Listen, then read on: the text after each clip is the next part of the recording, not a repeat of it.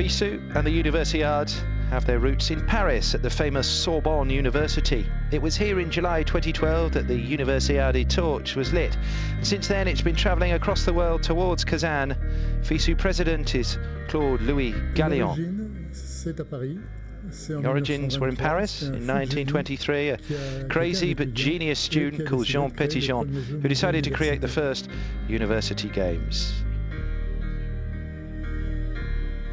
Avant, que la FISU soit créée en tant qu'association, il y a eu qui Before FISU was created as an association, there were many organizations that organized university sport. FISU was created in 1948, but even before that we had university competitions. So the first step was to centralize all the bodies into one federation.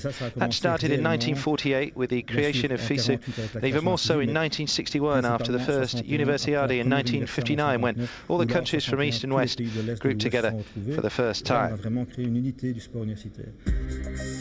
87 years after the first Summer World Student Championships in Warsaw in 1924, last year's Shenzhen Universiade reached an impressive level of organisation.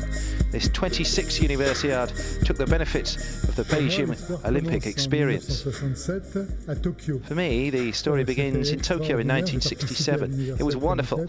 I participated at the Universiade as an athlete. It was the stadium for the 1964 Olympic Games. It was a stadium holding 50,000 seats. There was a real Olympic village there with big champions. It was a discovery. It was marvellous.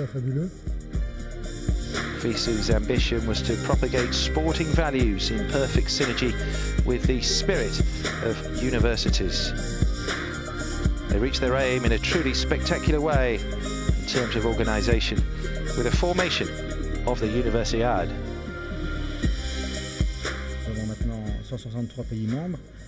Now we have 163 members. It's clear that FISU is entering a third phase.